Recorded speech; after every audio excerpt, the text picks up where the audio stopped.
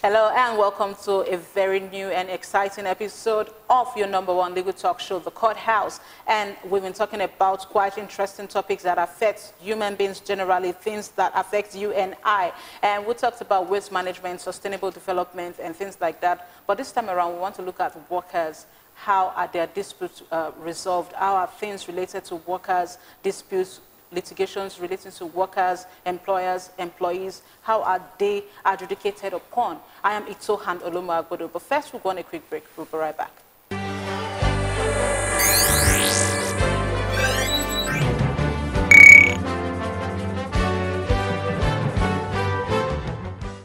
You're welcome back if you just joined us. This is the courthouse, and this week we are talking about the National Industrial Court of Nigeria. And I have a distinguished legal practitioner who is going to be telling us what that court is all about, what it stands for. And he is none other than Solomon Ezike.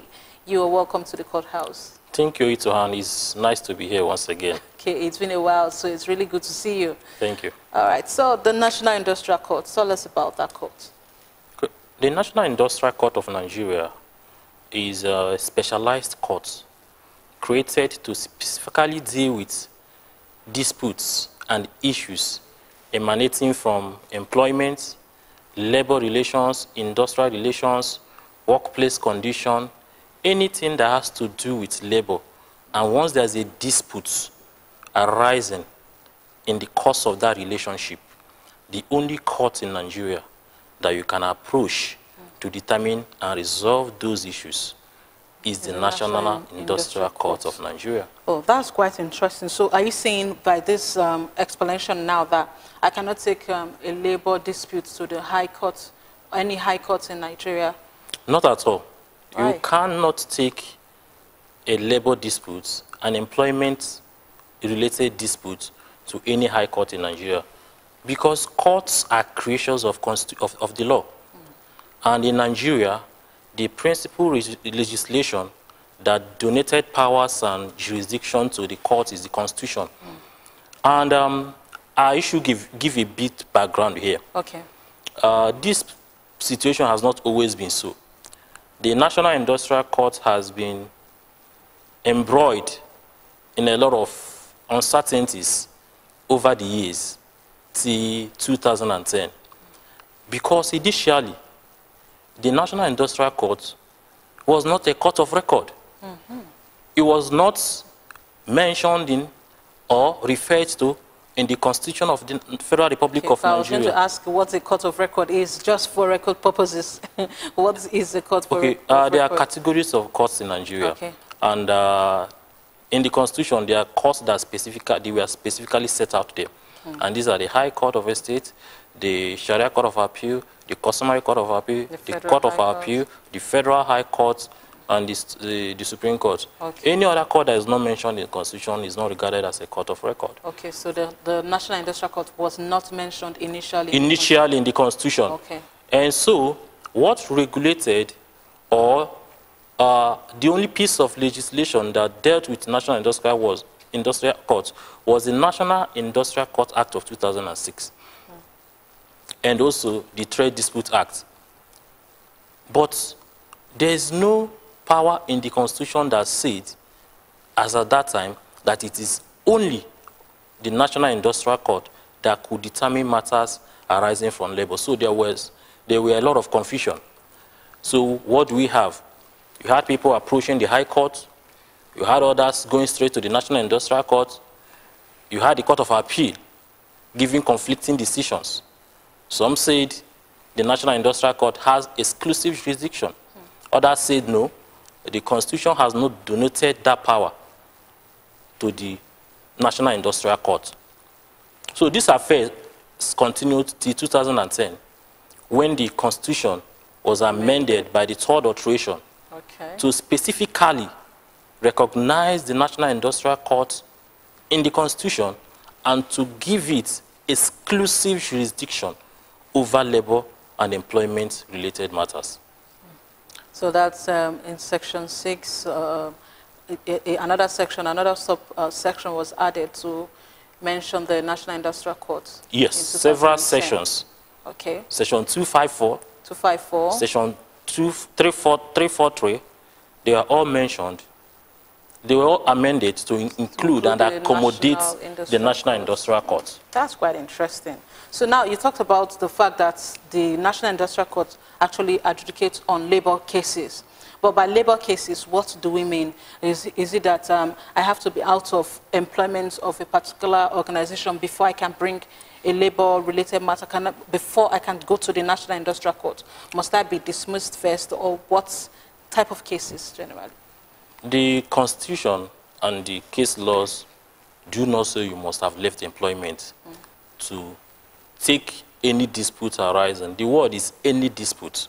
Once there's a dispute, whether you're still in employment or not, and you feel aggrieved, and you feel there's a need for that dispute to be resolved, you have a right, whether or not you are still in employment, to challenge that issue at the National Industrial Court. Quite interesting. So give us some more examples of cases that I can bring. Maybe um, because now that you said I don't have to have left the employment of that person, it's quite interesting because if I actually take uh, my employers to court, do you think the National Industrial Court will have enough protection for me after the, the dispute has been resolved, after the matter has come to an end in court? Do you think I'll still be allowed to work in that organization? Well, um, uh, this issue is not strictly an issue of law. What you just, the scenario you just painted now. Of course, you have a right to approach the court Okay. for a dispute to be resolved. Assuming you are in employment, for instance, and uh, your salary is XYZ, but consistently you are being paid something less, you have an option to go to the Court of Appeal, to to the National Industrial, Industrial Court court. To ask the court to look into this matter and ask my employer to pay me my full salary. Wow. Of course, there are also other inherent risks. Your salary might, empl- yes, empl- uh, the employer might feel aggrieved. Okay. You dragged him to court and might want to terminate the employment, but he must still do so in accordance with the contract of employment or any applicable law to that employment in question. Very, very interesting. I, I, I don't want to comment further because I'm going to court, to the National Industrial Court, to fight for my salary to be paid or for the increase of my salary to be effected. But after that, after I get judgments in that regard, I may not have any job to come back to. Exactly. Okay.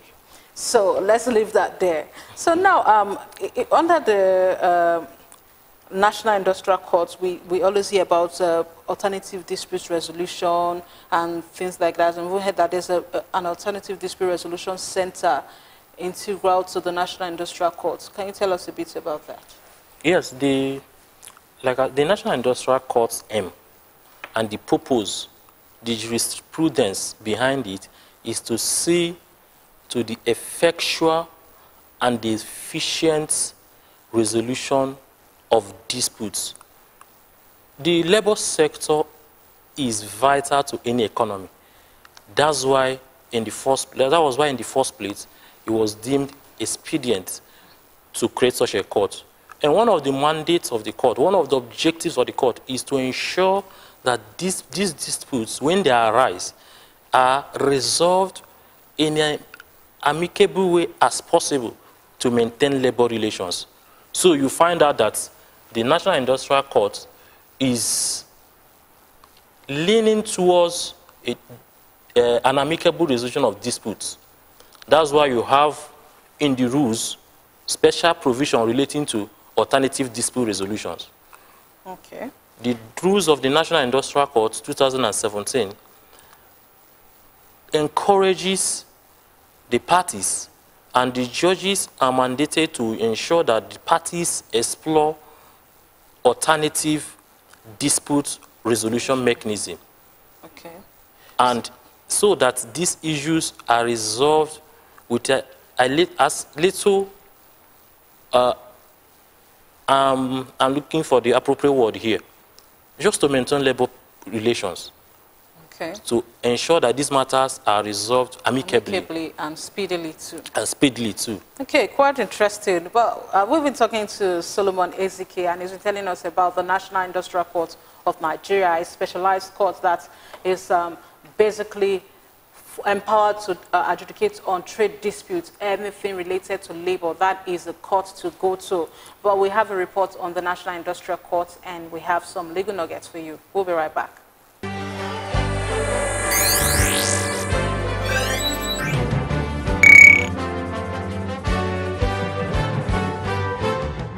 The National Industrial Court of Nigeria is a specialized superior court of record dispensing social justice in terms of labor related matters. In accordance with the rule of law and by fostering public trust, understanding, and confidence, it has the Alternative Dispute Resolution Center to resolve certain disputes arising from labor, employment, industrial relations, workplace issues, and the like between parties using processes of mediation and conciliation.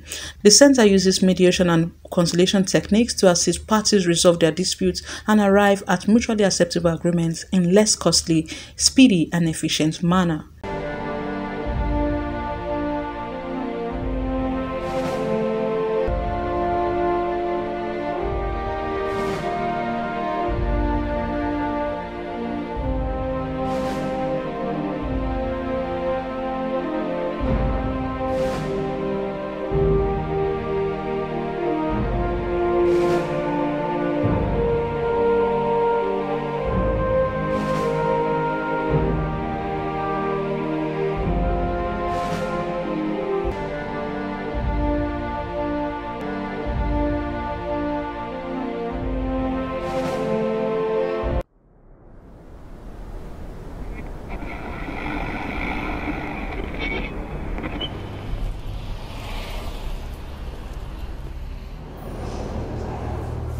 There are those of us who live in the unlimited power of the Spirit.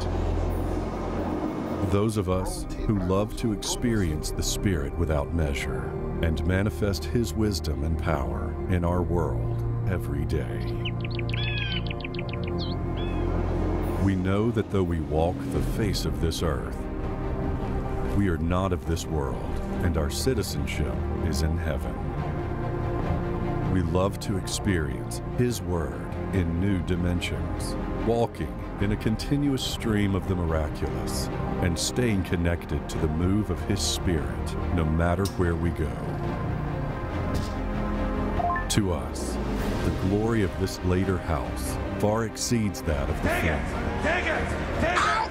That's the power of the Holy Ghost. We know that the ministry of the Holy Spirit on earth today is greater than what we saw with the apostles and prophets of old. If you are one of us and you want to know this great personality called the Holy Spirit, experience the power of His Word beyond the written pages, and explore what He is doing in our day, we invite you to take a ride with us. The vehicle already exists. It's just a tap away. Watch the Love World Networks on the Live TV mobile app. Welcome to a whole new world of the supernatural.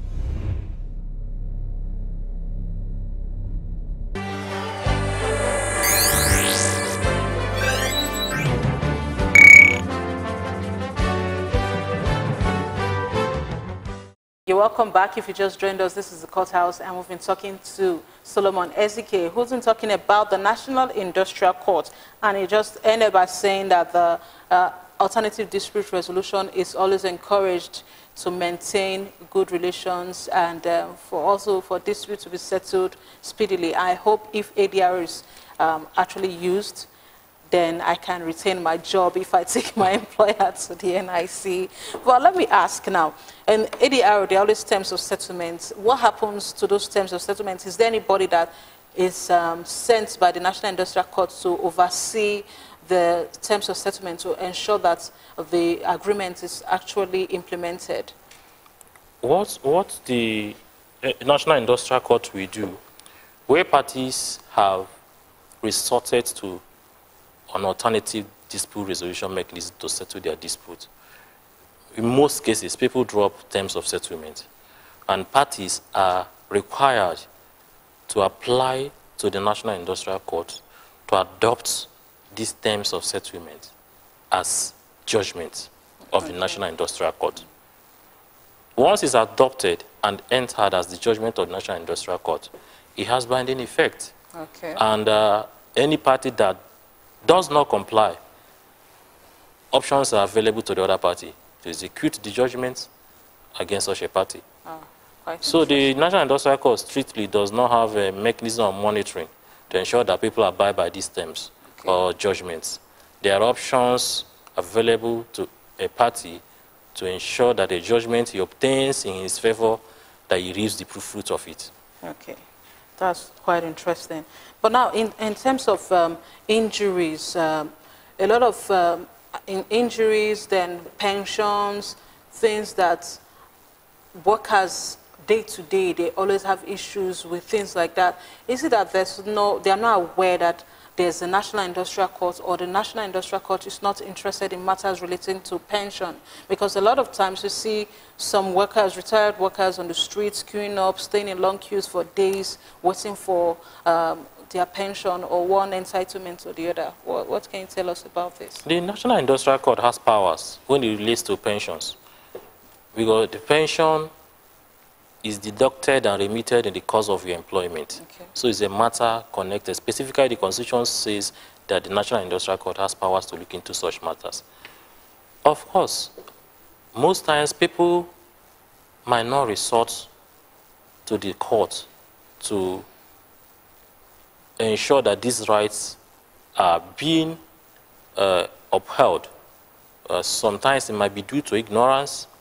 They might not know. Some know, but they think that the cost of pursuing this line of action is heavy. Some just don't want to have the, the some just don't have the uh, will to pursue these matters in court. So they resort to playing to the emotions of relevant authorities to That's please pay them their, what is due to That, them. that, that's quite um, sad because uh, also you see some workers injured, they lose their limbs, lose their arms, things like that, and they can't get another employment. Tell us a bit, what, what should be done? Is there any remedy for them under the law? And if there's any remedy, what laws, how do they um, actually get access to such remedies? There are laws that protect uh, employees in the course of discharging their duties. There are laws that provide for compensation in, in, in case of injuries, Injuries. even in case of deaths. And the National Industrial Court, like I said, has the power to determine these issues and award compensation as it determines fit, as it deems fit. But like I said, most people do not know, or they are scared of the cost of pursuing this remedy. So there's option, there's solution, there's remedy. The law is that where there is injury, there's always a remedy. There's always remedy. Okay, before we close this discussion, can you give us some uh, reforms you would like to see in the National Industrial Court? Um, or how well, or, or can you talk in terms of letting people know more about the Industrial Court? Just some few thoughts.